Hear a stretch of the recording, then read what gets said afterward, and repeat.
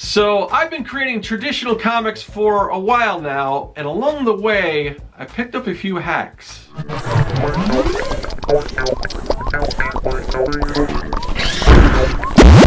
People of the internet. I'm Scott with Serkworks Art Labs. Welcome back to the underground laboratory where we create robots, alien zombies, and other imminent threats to humanity. And sometimes we create comics. Sometimes those comics do feature zombies. Uh, this is my Kids vs. Zombie comic that I've been working on for a while, Young and the Dead. It's kind of like Goonies meets Night of the Living Dead. But so I'm getting ready to start another page here on my comic book. So over the years, creating comic books traditionally, I have picked up a few tips, some things that I want to share with you guys. And so I decided to put everything together in a nice list. And, you know, some of these things maybe you heard of, but I'm pretty sure there might be a few things in here that uh, might surprise you. So let's get into my traditional comic book art hacks.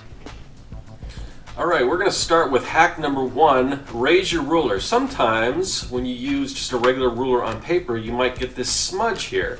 Um, hopefully not that bad, but it can happen. Uh, but one way to fix that is to kind of raise the ruler up. Now sometimes rulers will come with a little bit of cork on the bottom, and that'll help do that. But if you don't have one of those kind of rulers, just take some masking tape and uh, put a little strip on the bottom, maybe two if you need to raise it a little more.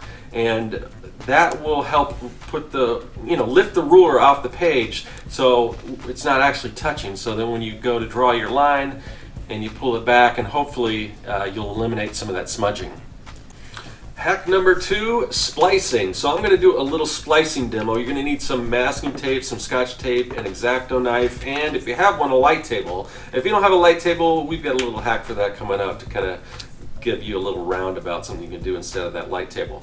But uh, right now you just want to line up your two sheets of paper. Now splicing, if you need to splice things, it's usually, uh, sometimes you might have like an 8 by 10 scanner or you know 8.5 by 11 scanner. You need something that's more comic book size like an 11 by 17. Or in this case I've got a double page spread. Uh, I do have 11 by 17 scanner, but that's not big enough for a double page spread. So say if I got my pencils out and I want to do a nice ink and I want to splice together these. Uh, then I want to line those up. I want to overlap them as you saw previously, just so you can get them lined up. You can see through it with the light table. Then put your masking tape on there and then get a metal ruler and just slice right down the middle.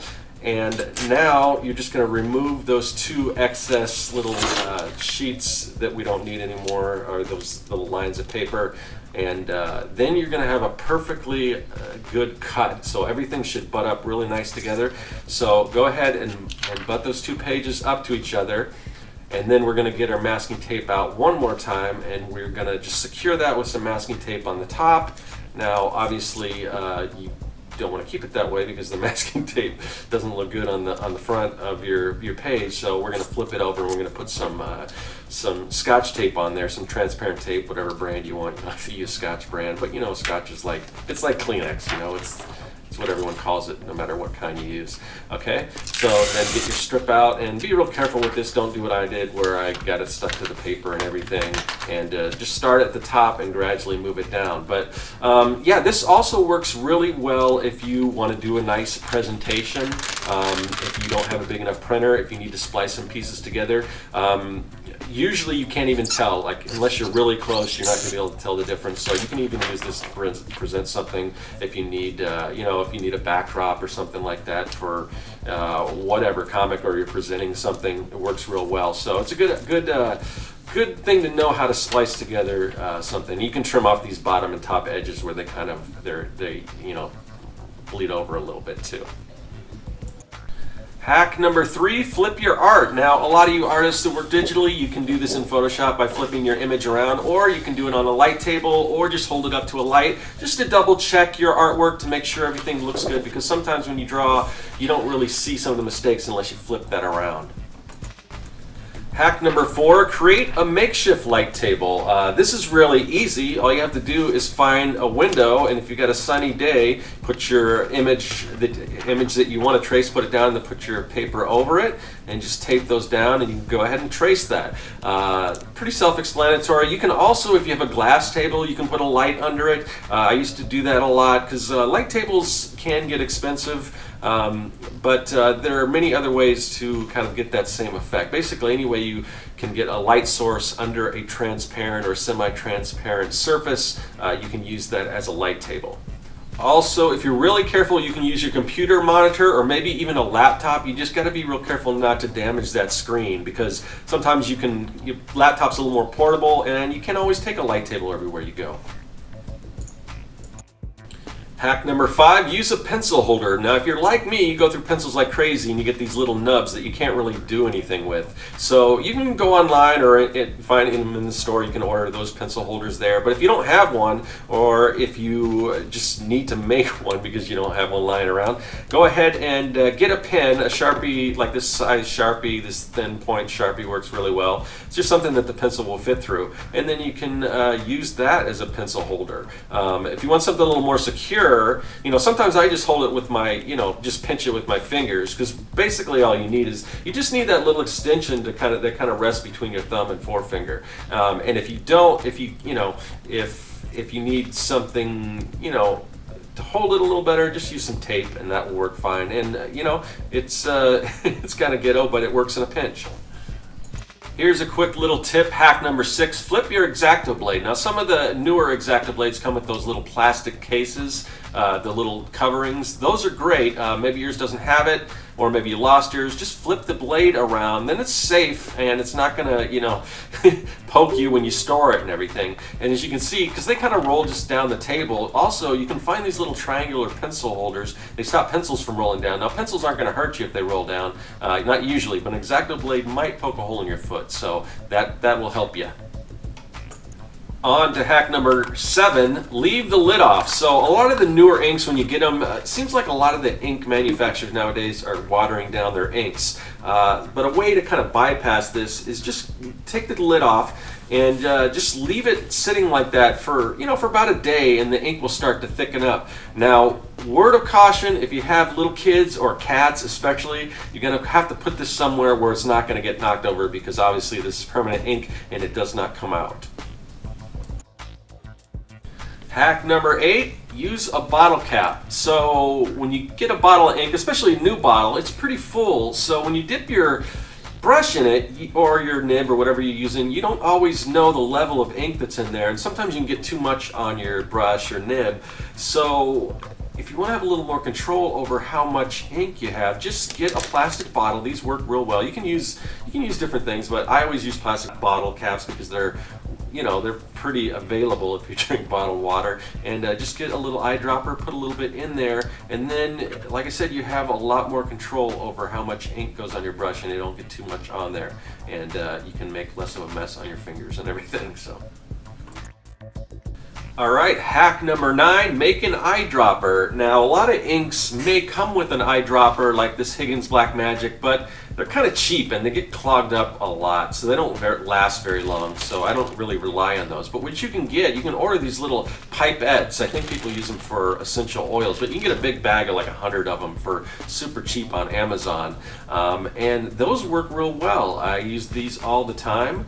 Um, and like I said, they're cheap and you can clean them out or whatever you want and reuse them or, you know, if you want to just dispose them, you can do that too. Or if you're in a bind, just you can also use a regular drinking straw. Just cover, you know, drop it in there, cover the top of it, and that will hold the ink in there, and then just drop it in your reservoir. In this case, like I said, we're using a bottle cap. Works really well. Hack number 10, reactivate Pro White. So if you're a traditional artist like me, uh, you tend to make mistakes and we don't have an undo button when we do traditional work, so I use Pro White. Now as you can see there, sometimes that Pro White, if you don't use it often or you know, if you had it for a while, it can dry up. But if you just put a little tiny bit of water in there, screw the cap back on, and just leave it sitting overnight and it will kind of pop back to normal. And you can also do this if you make your corrections with gouache, it kind of works the same way. And through the magic of video editing, I left it sit overnight, and now you can see it's pretty much back to normal and it works really well, and you can go ahead and make your corrections or effects or whatever you want to do. Hack number 11, use a smudge guard. Now you don't want to smudge when you're inking. Sometimes you can put a piece of paper underneath you, but if you don't want to do that, or if you want a better way to do it, maybe get one of these smudge guards. Uh, they're used for, like if you have a Cintiq or a tablet, so you don't smudge the, uh, you know, the screen and it moves you know quickly across the screen. So those work really well for traditional drawing as well. But if you don't want to invest in one of those, or if you just don't have time to get one, uh, and if you have a glove lying around, just use a glove. I've got a cotton glove here. I cut the fingertips off of those, and it works pretty much just as well.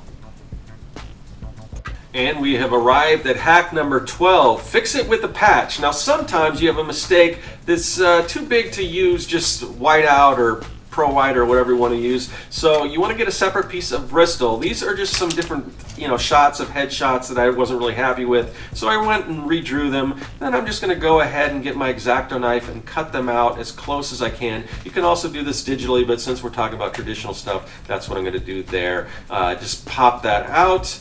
And now what you want to do is you want to get a slim piece of cardboard, just cut out a piece of cardboard like you see here, get some masking tape and tape that down, put your image face down like that, and uh, get some Super 77 or whatever spray mount you want to use and just take it outside and spray that. And uh, that way you don't get it all over your hand or anything. Then just get your image rested on your X-Acto blade and find out where you want, get it into position, and once you got it there, press down on it and voila there you go. Now you may need to go ahead back in there. If you got a little overlapping like you see there just go ahead and get your pro white out and you can kind of fix that. You know what, I'm feeling generous, so I'm going to give you a bonus hack, and that is make a hand lettering guide. Now, this is a tip that I learned from Kevin Cross, who likes his lettering to look handmade, but say your handwriting's not that great or whatever, you want to create a guide, just print out your comic book type, and put it under a light table and go over it and you're going to get some nice inconsistencies and it's going to look it's just going to look a lot better and more organic. All right, so I hope you enjoyed some of those hacks. Uh, I hope there were some new things in there for you to take away. And I'm curious if you guys have some little tidbits of knowledge that maybe I didn't mention, maybe I don't even know about. I'd like to know about them. If you got some good ideas, let me know in the comments section. And other than that, I will see you guys later. That is all. Hey everyone, thanks for joining me here in the Art Lab. There's a lot of other great content on the channel, so click that subscribe button and you won't miss a thing. If you're an aspiring evil genius, visit Serkworks.com for all your mad science supply needs. And if you want to contact me, hit me up in the comments section or follow me on social media. I'm looking forward to it. I'll see you then.